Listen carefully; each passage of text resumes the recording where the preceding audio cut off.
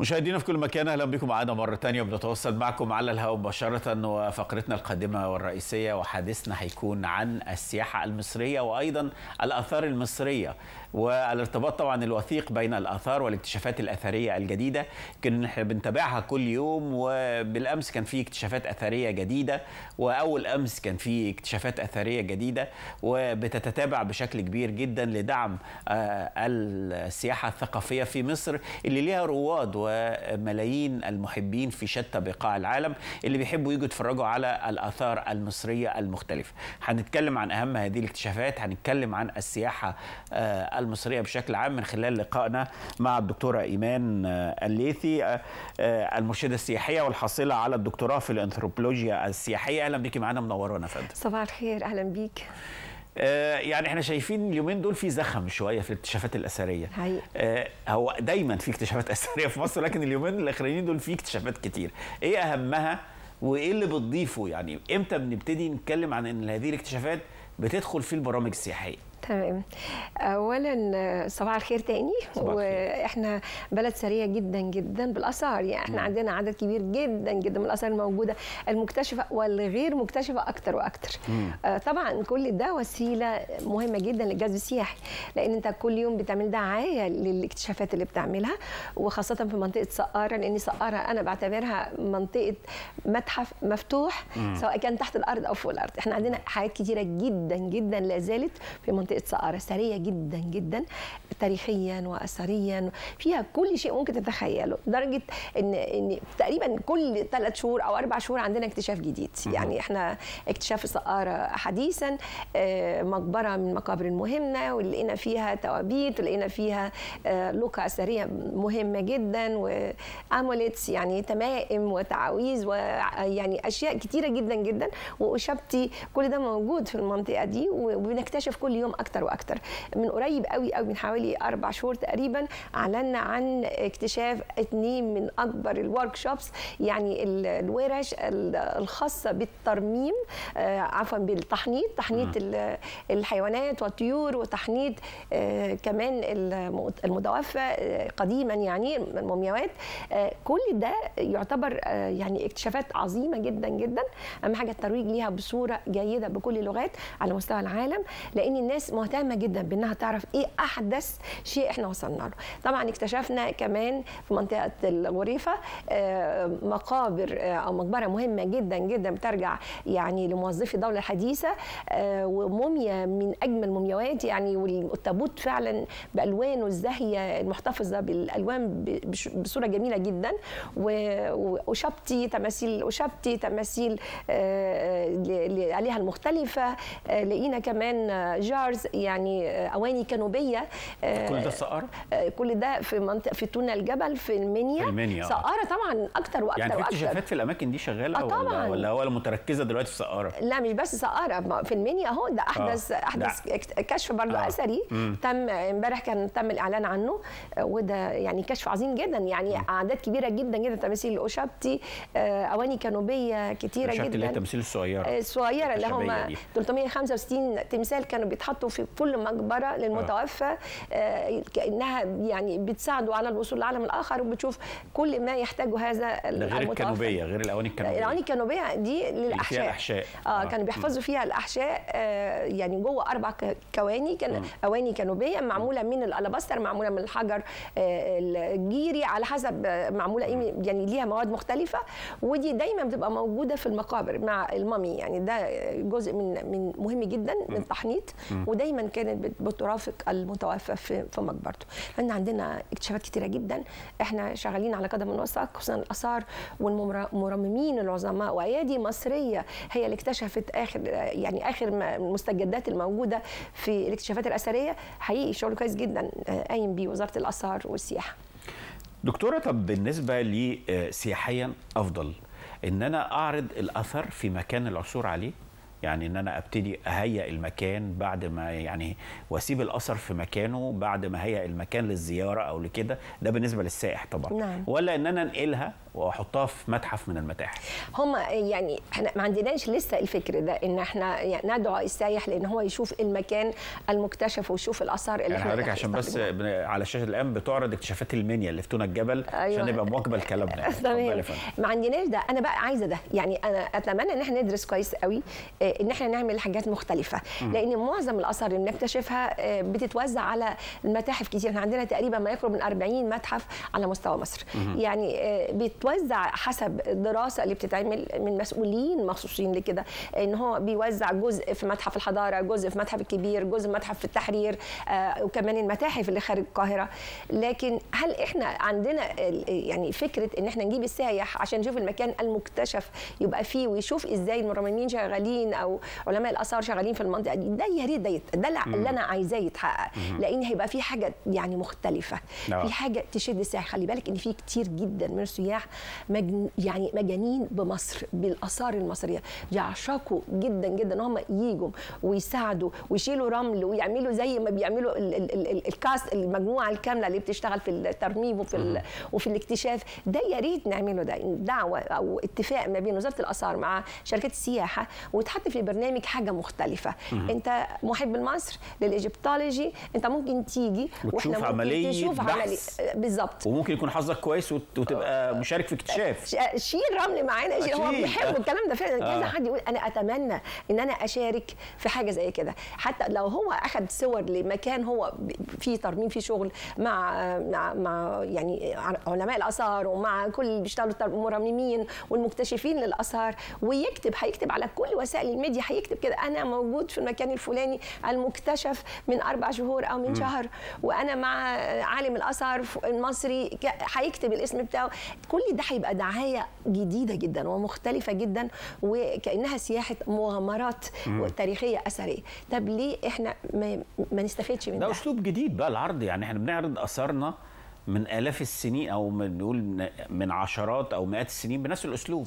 ده صحيح. ليه ما نغيرش الأسلوب؟ ما هو ده اللي أنا بطالب بيه. أنا عايزة حاجات جديدة لأن دلوقتي العالم كله بيدور على يعني تجديدات حاجات حديثة أفكار مختلفة مش الأفكار الكلاسيك. طبعا المتاحف عظيمة اللي موجودة في مصر. آه. لكن إحنا لازم نشوف أفكار يبقى ده. مختلفة. بالظبط. آه. يا ريت. بس أنا أنا شايف إن ال- اللي هيبقى جاذب أكتر اللي هو لما يبقى هو مشارك في عملية ال- بالظبط كده أكيد. وهيدفع أكتر. يعني في ال package ده أو في البرنامج اللي هيتعمل ده هيكون له يعني حاجة تانية خالص. يعني ده للناس المحبة و- ويعني العاشقة للآثار وال- والاكتشافات الحديثة اللي موجودة في مصر. وعايز ده هيدفع ده وهيجي وهيصر إن هو يشارك في ده. هيكون كويس. هي أفكار جديدة وممكن جدا جدا لو سهلة مش صعبة.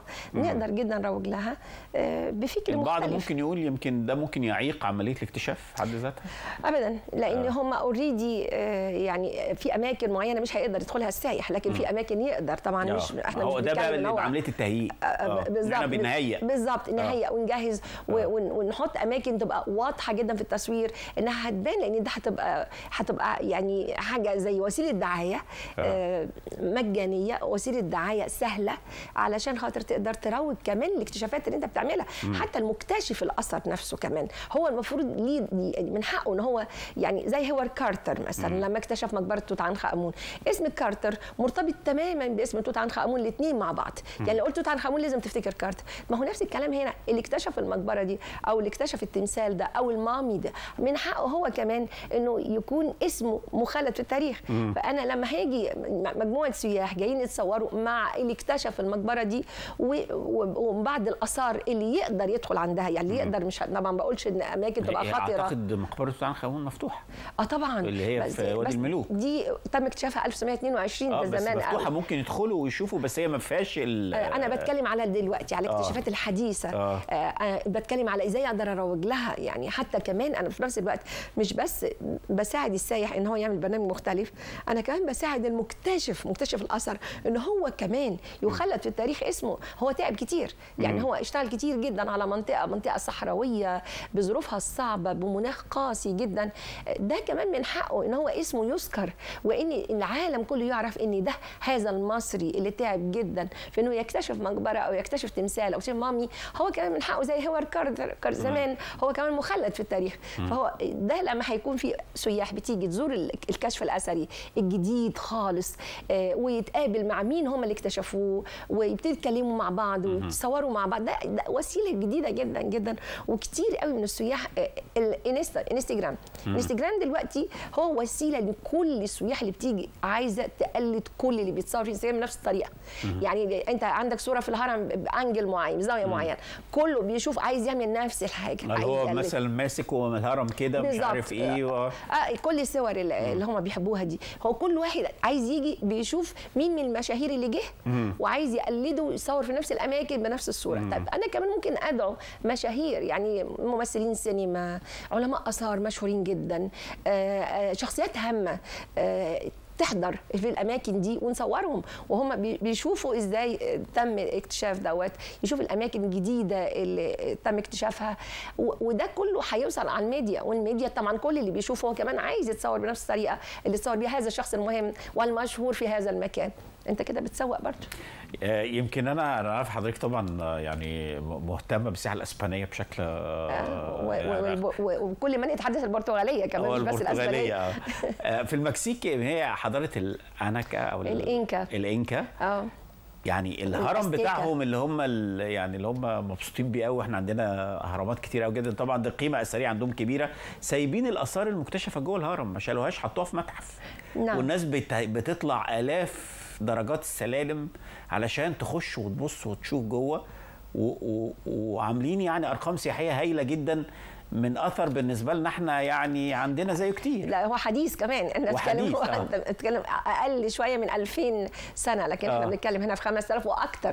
يعني إحنا عندنا آثار قديمة جدا جدا جدا أكتر من 5000 أنت عندك في هيكل عظمي موجود في متحف الحضارة عمره 35000 سنة. يعني آه. أنت مش أنت مش حضرتك 5000 مفيش سنة خالص. مقارنة. أنا عارف إن مفيش آه، مقارنة. أنا. بتكلم على الأسلوب. آه، الأسلوب وطريقه العرض والدعاية. آه. أهم حاجة الدعاية. دي مهمة جدا. أنت إزاي؟ أنت عندك حاجات كتير قوي. بس توظفها إزاي؟ شوف أنا كنت في متحف في الغردقة. أنا كنت أول مرة أروح متحف الغردقة حقيقي لأن هو ملوش دعاية كتير متحف جميل جدا لقيت في قطع أثرية لتوت عنخ آمون معروضة هناك كانت موجودة في المتحف القديم بتاع التحرير ما كانش عندي فكرة خالص على الإطلاق إنها موجودة هناك قطع آه، آه، يعني آه، أصلية آه، أصلية طبعا مش مو- copy. لا ما فيش آه. copy خالص آه. متاحفنا ما شاء الله ما فيش كلها. تقريبا يعني نادرا ما لو لقيت قطع. أصلية. آه طبعا ده آه. إحنا الثراء كله آه. ده الآثار كلها مصر آه ف طب ليه ما فيش تسويق لده يعني أنا لما كنت في المتحف لقيت اللي موجودين حوالي أربعة آه وكلهم مصريين. أنا ما لقيتش واحد أجنبي جوه. المتحف اللي بيتفرجوا؟ متحف الغردقة. يعني متحف جميل جدا. ومحدث على فكرة آه يعني خالص. داخل يعني مش عايزة أقول لك جديد يعني. فعلا بأسلوب جميل واضاءه. إضاءة عظيمة. فين الدعاية؟ المتحف زي ده برغم إن أنت عندك سياحه كتير جدا بتروح الغردقة آه. لكن الناس ما تعرفش بيها. ليه ما يتحطش على على الخريطة السياحية؟ متحف بهذا الجمال وهذه العظمة. موجود متاحف كتيرة جدا جدا لكن مش كتير بيروحوها لأنهم مش عارفين عنها حاجة. انت محتاج بس دعايه ده ده متهيألي دور الشركات السياحة اللي هي بتعمل البرامج دور كل الناس مش بس شركات السياحة انت عندك وزارة الاثار والسياحة دي ليها دور آه. آه. شركات السياحة ليها دور آه. آه. الاثنين لازم يعملوا cooperation مع بعض آه. لأن لازم أعمل facility لازم أقدم يعني حتى brochures أو أقدم دعاية في التلفزيون بره مصر أنا مش بتكلم على فكرة جوه مصر بس مش بتكلم عن السياحة الداخلية أنا يعنيني السياحة الداخلية والخارجية الخارجية هي مصدر دخل قومي كبير ومهم جدا جدا. فين الدعايه لده بره مصر؟ أنا ما شفتش. طب إحنا لازم إحنا عندنا كم آثار وكم متاحف لازم نسوق لها كويس قوي قوي. فكرة إن السايح برضه ليه ده لازم تتغير بالنسبة حتى للي جاي سياحة ترفيهيه اللي بيجوا شرم والغردقة. فكرة إن هو يجي يقعد في القرية العشر أيام أو الأسبوع اللي هو جاي آكل شارب ما بيخرجش بره القرية إلا قليلا. لا المفروض إن أنا أبتدي أخرجه. وابتدي اوجد له اماكن يروح يزورها. بالظبط. إيه المشكلة ان يبقى من ضمن الزيارة هو أكيد هيبقى شغوف ان هو يشوف الآثار؟ آه طبعا. لأنها مختلفة. لأن حتى طريقة العرض كل متحف ليه جماله؟ كل متحف ليه تكنيك مختلف عن التاني. ليه جاذبية؟ يعني بي- بيجذب السائح بشكل جميل جدا جدا. طريقة العرض دلوقتي حديثة ويعني حقيقي شيقة جدا جدا. يعني غير المتحف القديم. المتحف القديم هايل لأنه أول متحف هو في التحرير. في التحرير. آه. طرق العرض في المتحف القديم يعني لو قارناها بمتحف الحضارة مثلا مختلفة تماما. آه. بمتحف الغردقة مختلفة تماما. أي متحف موجود في مصر مختلف إنه كلاسيك قديم. آه لكن كمان أنا المتحف ده بالذات هو مهم قوي اقدم متحف. كم ال- السياح اللي بتقبل عليه كبير جدا هو جدا. في حد ذاته أثر كمبنى. آه، بالظبط آه. هو أثر. إحنا يعني عدينا 100 سنة يعني آه. هو فعلا بنفسه يعني يعتبر يعني كمبنى وهو كمان شكل المبنى عظيم. لكن الم- المتحف ده أنا عايزاك سنيور تدخله وتشوف. في الظروف اللي إحنا فيها وعدد السياح الكبير اللي بيجي لنا دلوقتي ما فيهوش أي تكييف ما فيهوش أي مراوح تكفي عدد في مراوح ضعيفة جدا لكن تكفي عدد السياح اللي داخل بالآلافات في نفس اليوم الناس بتخرج يعني حر شديد جدا جدا عرقانة مش مبسوطة بالزيارة. ليه؟ لأن ما فيش مكان مهيأ للزيارة. يعني أنا ما شفتش آه، آه، مثلا آه، القاعة بتاعت توت عنخ آمون. توابير واحيانا بيحصل خلافات ما بين السياح لأن ده عايز يدخل قبل ده عايز يدخل قبل ده. صعب جدا. لازم المتحف ده يعني يدرس من جديد وإنه لأن لأن هو هيظل متحف. آه طبعا. يعني الكبير ومهم. لما هي- هيفتتح. مش هيأثر بالسلب على ده بالعكس ده هيضيف لل- لل- للقديم. بالظبط آه. لأن المتحف ده زاروا ناس كتيرة جدا جدا من 20 و30 سنة وأكتر لأن في ناس بترجع تاني عايزة تشوف نفس المتحف ده تاني ده نوستالجيا يعني ده الحنين إن إحنا نشوف المتحف تاني من جديد. وبعدين ده مش متحف عادي ده ده واحد ده اقدم متحف موجود ده أهم متحف موجود. إزاي أنا ما اهتمش بيه بصورة يعني أفضل؟ لأن لازم يكون في تكييفات لازم يكون في مراوح كافية لازم يكون في مسار للناس وهي بتدخل منظمة لأن ده شكلنا ده الإيمج بتاع مصر. ما ينفعش يبقى فيه يعني هرج ومرج والناس مش عارفة تدخل الأماكن بسهولة. لا طبعا ما ينفعش. فلازم ندرس المتحف ده لأنه ما ينفعش يهمل بالطريقة دي. يعني متحف الحضارة معظم الزيارات اللي بتتم دلوقتي عظيمة جدا. الناس بتخرج مبسوطة وسعيدة إضاءة قوية الناس شايفة الآثار بوضوح شديد. كل ما هو مكتوب مكتوب بوضوح. أنا ما أقدرش أحط كارتيل أو يعني اي أي شيء يعني معلومات عن الأثر. والخط بتاعها صغير جدا جدا. أنت عندك كبار السن بيجوا هيشوفوا إزاي؟ يعني والإضاءة ضعيفة جدا. الإضاءة عاملة عاملة reflection على الأثر. يعني أنت دلوقتي سامح بالتصوير وده شيء كويس جدا أنا داعية برضه. لكن تعالى صور. تقدر؟ ما تقدرش. ليه؟ لأن مح- محطوط الأثر بطريقة غلط. يعني تلاقي الإضاءة وراه فيعمل لك reflection عكسي. ما تقدرش تاخد صورة كويسة. فما ينفعش. يعني انت انت لازم تدرس إضاءة المتحف لازم تدرس كمان ال- المناخ اللي موجود في المتحف درجة الحرارة الموجودة. هل هتناسب السائح ولا لأ؟ علشان المتحف ده م- ما يموتش. المتحف ده لازم يستمر آه، بنفس قوته زي الأول. انت عندك ثلاث متاحف مهمين جدا دلوقتي. متحف الحضارة عندك متحف التحرير عندك المتحف الكبير العظيم اللي, اللي هو طبعا إحنا عملنا soft opening هو آه. في زيارة دلوقتي دي خاصه لكن آه، فاضل يعني في سياح بيجوا. بيجوا طبعا. وبيتزار بس هو ليه زيارة دي زيارة يعني بيشوف فيها حاجات قليلة جدا ما آه. بيشوفش المتحف ككل. إحنا المتحف ككل هي... هي... إن شاء الله هيتم افتتاحه قريب جدا. ما نعرفش تاريخ بالظبط حقيقي لأن لسه في استعدادات. لكن آه، آه، متحف التحرير لازم يظل متحف يعني ولازم نهتم بيه جدا جدا علشان يبقى في عدد كبير وفي إقبال كبير عليه. هو الأشهر يعني طبعاً. دلوقتي ما فيش حد بيجي مصر مهتم بالسياحة الثقافية ويجي القاهرة يقول لك المتحف والهرم. بالظبط. يعني دايما حضرتك بتلاحظي الموضوع يقول لك آه، المتحف. والهرم آه، بالظبط كده. آه يعني هو. بالنسبة لهم هرم رابع يعني ما حاجة لازم يشوفوها. في حاجة تاني إحنا عملنا يعني آه، مطار مطار سفنكس آه. المطار ده يعني قريب جدا المتحف الكبير للأوتيلات الموجودة كلها في منطقة الهرم. ليه مش شغال؟ يعني ليه ما هو نكثفش شغال بس مش بقوة يعني. مش بقوة. لا، ايمن عايزة أقول كده ليه مش شغال بقوة؟ يعني ليه إحنا ما نستوردش يعني طيران خارجي على ال- المطار سفنكس ده ده ده مطار في موقع جميل جدا جدا ومكان هايل جدا وطرق ممهدة وعظيمة وجميلة ومشرفة. يعني أنا لما باخد أجانب وبروح بيهم اسكندرية أنا بسمع الكومنتس إيه الطريق الجميل ده؟ إيه الطريق الممهد بسرعة؟ إحنا ما عندناش في بلدنا بالشكل ده. أنا فعلا سافرت كتير وشفت طرق. في طرق عظيمة في دول تانية لكن حقيقي الطريق ده معمول صح معمول بطريقة جميلة جدا جدا وشريفة جدا جدا. ليه مطار اسفنكس ما يبتديش بقى يشتغل بقوة؟ ليه؟ يعني ده مهم ليه ما. يبقاش زي شرم الشيخ والغردقة على؟ بالظبط. أو أو أسوان أو. الأقصر. آه، بالظبط. آه. لأن- لأنه هو كبير وهو مو يعني يعني ياخد charters وياخد ياخد؟ وياخد regular آه. المفروض نشتغل عليه. المفروض بشكل عام يعني لو اتكلمنا على السائح الأسباني أو السائح البرتغالي اهتمامه إيه؟ يعني هل هو بينتمي أو بيحب السياحة الثقافية أكتر الآثار أكتر ولا لأ عايز يقعد جنب البحر بقى والبحر المتوسط وال- والجو ده فعايز يبلبط بمعنى لو هتكلم عن بسيط. الساحل الاسباني إسبانيا الساحل الاسباني يعشق مصر. آه. ويعشق كل ما هو تاريخ وآثار. يعني هو بالنسبة له السياحه الثقافيه كل ما يتعلق بالآثار والتاريخ جنون. لأن الأسبان أنت ممكن تتكلم مع حد يجي يقول لك أنا جيت مصر عشر مرات. لأن طبعا المسافة قريبة جدا هو عاشق لمصر بيحبها. آه إلى جانب إن إن هو على طول بيعشق يشتري زيارات اللي فيها تاريخ وأثار.